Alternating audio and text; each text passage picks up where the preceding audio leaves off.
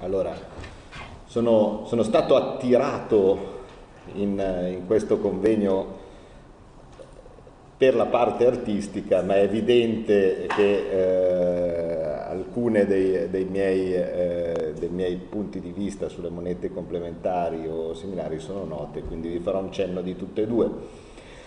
Farò un cenno di tutte e due, eh, però mi piace proprio iniziare con l'aspetto artistico.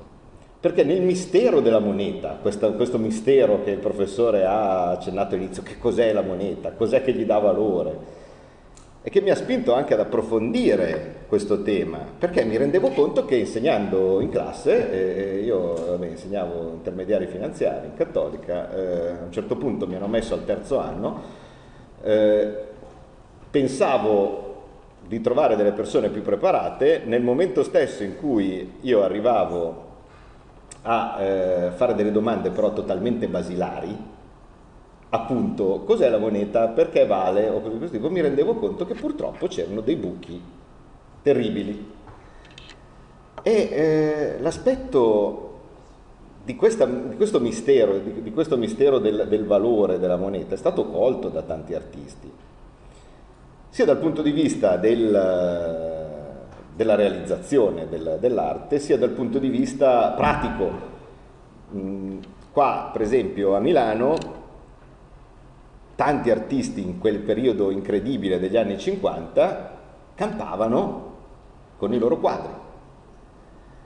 C'erano dei, eh, dei benefattori, più famosi fra i quali per esempio i Boschi di Stefano, che, eh, la cui collezione smisurata è eh, ora il, la parte centrale del, del nostro Museo del Novecento, che sfamavano fisicamente l'artista in cambio di quadro.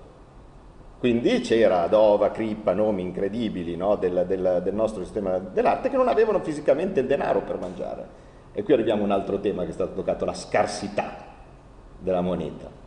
Aveva, allora cosa faceva? Loro facendo il quadro e donandolo all'appassionato, riuscivano ad ottenere il pasto. Poi abbiamo un artista pazzesco che eh, ha contribuito alla, mh, mm, alla fine del, del, dell'informale, quel, quel, periodo artistico eh, dove si, si, facevano quadri senza nessun tipo di rappresentazione del reale, proprio che, che diciamo... Eh, Vediamo il nostro pavimento, ecco, insomma, ricorda un po', giusto, giusto per capire di, di, che stiamo parlando. Ecco. Eh, Pinot Gallizio, che non era un farmacista, faceva tutt'altro, a un certo punto ha deciso di provare a distruggere il mercato dell'arte con l'eccesso di stampa, una specie di venezuelano no, del, del, de, dei, nostri, dei, nostri, tempi, o di Weimar dei nostri tempi. Allora cosa faceva? Prendeva eh, rotoli con decine di metri di tessuto, di tela, venivano eh, um, dipinti da lui e dai suoi, eh, e dai suoi eh, amici, che aveva fatto una specie, fatto una specie di, di, di, comunità insomma, ad Alba, eh, con colori industriali, eh, catrame no? e così via, e poi venduti a metro, andava proprio al, al mercato e eh, a seconda di se uno chiedeva due metri di quadro, un metro e mezzo e così via, con la forbice tagliava e, e, e, metteva lì. Il suo intento era proprio distruggere il valore dell'arte. Dice io ti faccio vedere che ne posso fare quante ne voglio. E purtroppo anche in quel caso il valore ha vinto, perché poi Pinot Galizio è morto subito e suo, questi suoi rotoli di pittura industriale hanno cominciato a diventare preziosissimi. E, e, tuttora hanno un valore incredibile, e, fortunati quelli che, quelli, che, quelli che ce l'hanno e quindi non è riuscito purtroppo a distruggere per lui, a distruggere il, il valore dell'arte eccedendo con la stampa, no? diciamo così, perché ogni tanto uno dice ecco tu Borghi vuoi stampare troppa moneta così, eh, poi niente vale, si va in giro con le carriole, no? si va in giro con le carriole di moneta e così via, no, non, non ci siamo. Ehm, ce ne sono tanti di altri esempi, no? vale a dire eh, i, i dollari di Andy Warhol, dollaro firmato da Andy Warhol vale molto più del dollaro normale perché c'è la sua attività.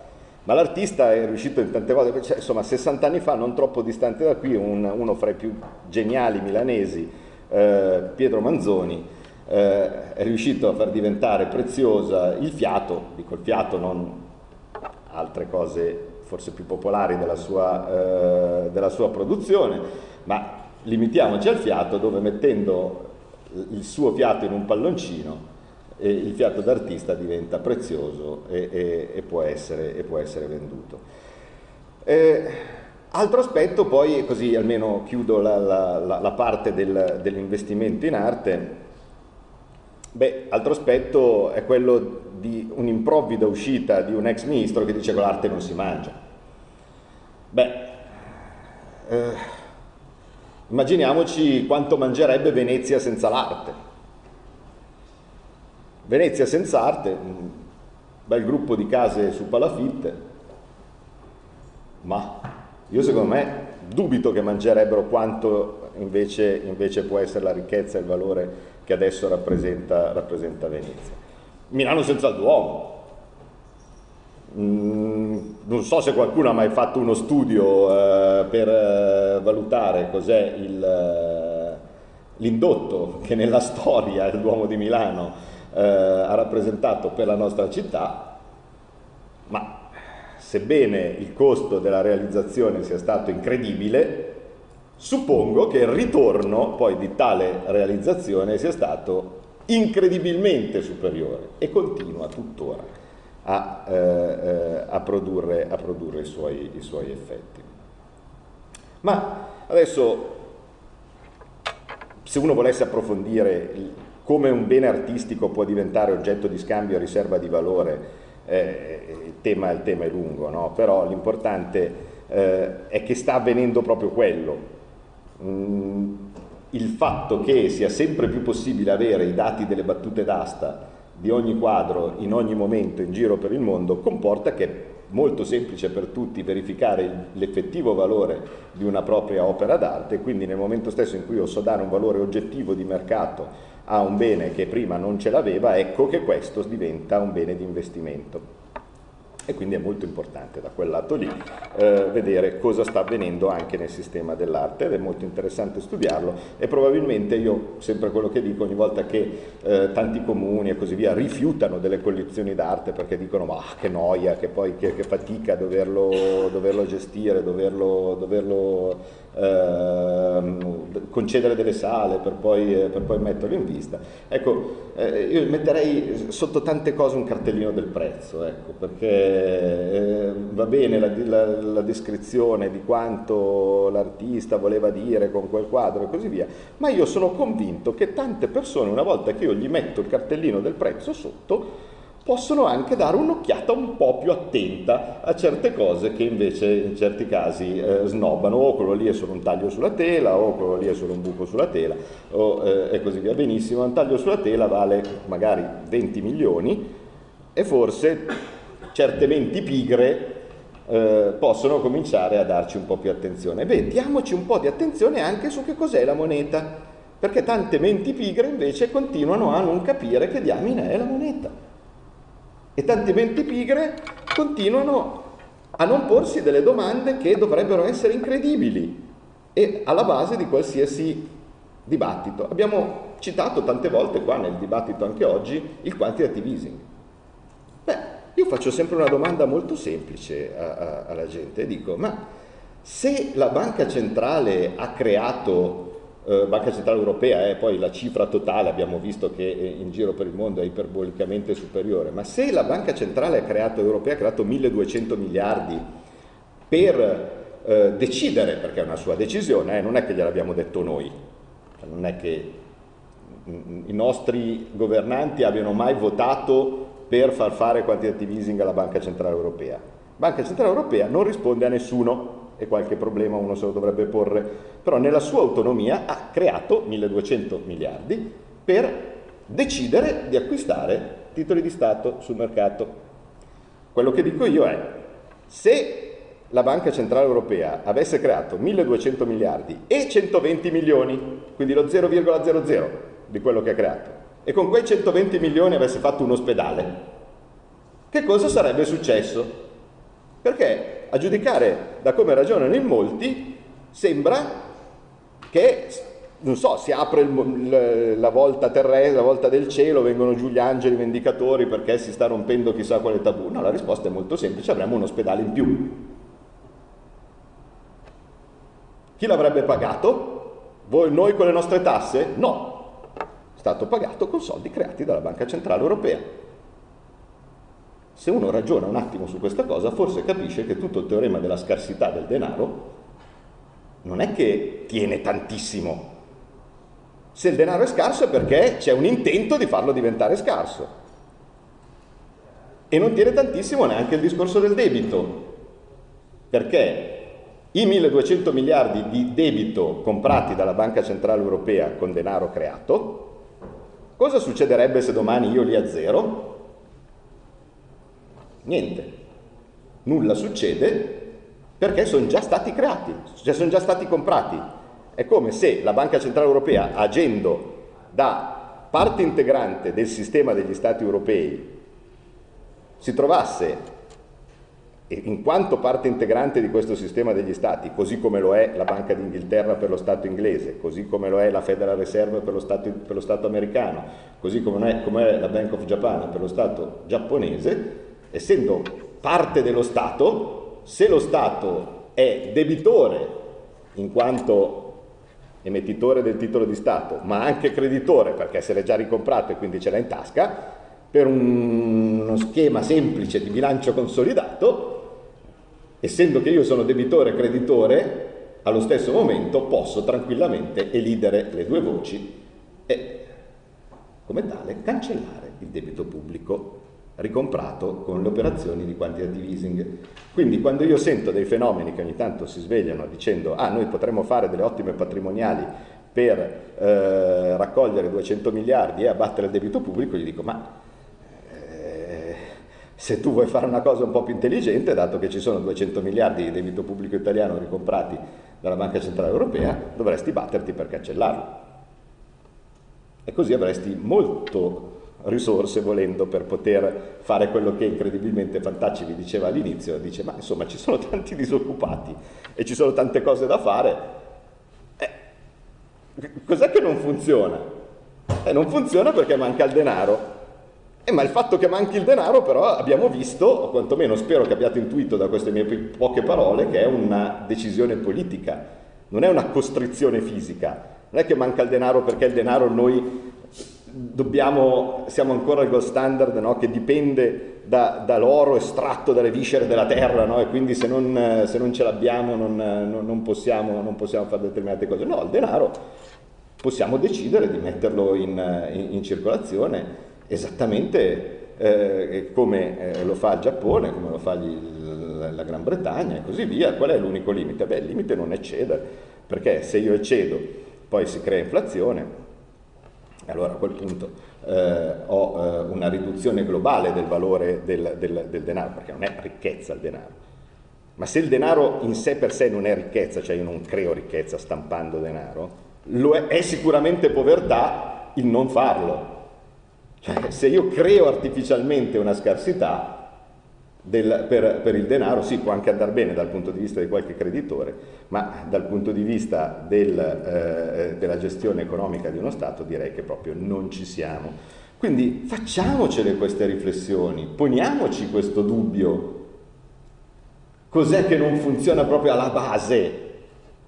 Dopo andiamo a ragionare, volendo, su come su come ingannare, perché eh, eh, il professor Esposito ha detto una cosa giustissima, dice il piano A non funziona, no? allora cosa faccio? Cerco dei piani B. Però a me piacerebbe anche vedere perché non funziona il piano A. Aggiungo quindi, e poi chiudo, il mio contributo a eh, diversi esempi di monete complementari dicendo quello che è la proposta mia eh, ufficiale, anche del mio partito, ma eh, eh per eh, l'emissione di moneta complementare che ha come unico scopo invece quello di agevolare un'eventuale transizione fuori da questo mondo di artificiale scarsità della moneta dato, dato dall'euro, che è quello dei mini bot. Vale a dire, noi abbiamo in questo momento eh, i titoli di Stato italiani che hanno come taglio minimo 1000 euro. Eh, non è scritto da nessuna parte che debba essere il taglio minimo 1000 euro.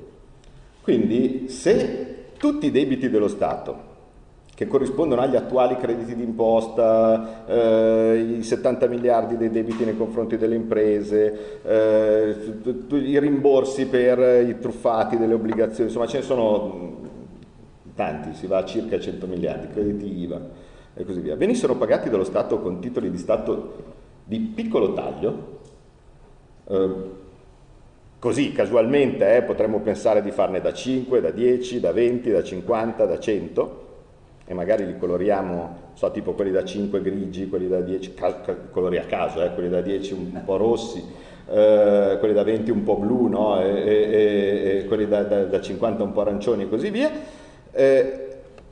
Mettendo in circolazione questo denaro che sono debiti della pubblica amministrazione, quindi non è che sto creando niente, è semplicemente un saldare dei debiti che già ci sono in questo momento, seppur magari non direttamente contabilizzati, ma, ma sono un impegno del, dello Stato, beh, avremo in circolazione una massa monetaria che sarebbe analoga eh, a quella attuale delle banconote. Mm, cosa mi comporta? Beh, mi comporta che si svilupperebbe un mercato, perché se questi titoli di Stato di piccolo taglio fossero accettati immediatamente dallo Stato come pagamento fiscale, ma anche e soprattutto dei servizi forniti dallo Stato. Si pensi, non so, alla benzina. Se l'Agip a un certo punto accetta i titoli di Stato di piccolo taglio come, come pagamento alla benzina, capite che è impossibile che ci sia un mismatch di valore fra questi titoli e la, la moneta corrente, perché se uno volesse vendere a 40 euro un eh, mini bot di valore facciale a 50 lo comprerei io, andrei a farmi benzina all'Agip. No? Eh, senza, senza, problemi, quindi automaticamente avrebbe esattamente lo stesso valore, così come aveva il valore di 200 lire il gettone del telefono, per intendersi, no? similari, perché tanto in ogni caso eh, eh aveva un immediato uso no? eh, fattibile, che era quello appunto per telefonare. Eh, beh, così facendo io avrei in breve tempo una circolazione di eh, una virgolette, chiamiamola moneta parallela nazionale, che mi consente di evitare di rimanere chiuso fuori eh, da eh, eventuali manovre di coercizione alla greca, mettiamola così, se per caso eh, si facessero delle trattative nei confronti dell'Europa particolarmente serrate, dato che non è simpatico dal punto di vista della democrazia dover andare a trattare con qualcuno che nel, stesso, nel, nel momento in cui tu tratti ti chiude le banche o ti chiude l'emissione del denaro non so, io ho un senso della democrazia un po' diverso ecco, rispetto a quello che dovrebbe essere questo, questo modo di costruzione. Mi piacerebbe avere delle, la possibilità, uno spazio più sereno eh, del, eh, per, per, i miei cittadini e quindi avere una moneta che non è controllabile dall'esterno. Ecco, così facendo è un metodo semplice semplice e eh, alla fine potrebbe anche, eh, senza controindicazioni immediate che io vedo, eh, per avere una moneta parallela per eh, eventualmente gestire una transizione fuori da questo sistema. Chiudo eh, ricordando invece eh, cosa succede quando si eh, attacca una moneta a un valore reale come per esempio l'oro. due biennali fa un artista un artista italiano, Golia, aveva presentato un blocco di cemento con dentro un chilo d'oro sparso e eh, il pubblico era eh, libero di cercare di prenderlo. E quindi c'era la, la, folla con dita, chiavi e eh, così via che scavava questo blocco di cemento cercando di eh, tirar fuori le pagliuzze d'oro che in esso erano, eh, erano effettivamente contenute.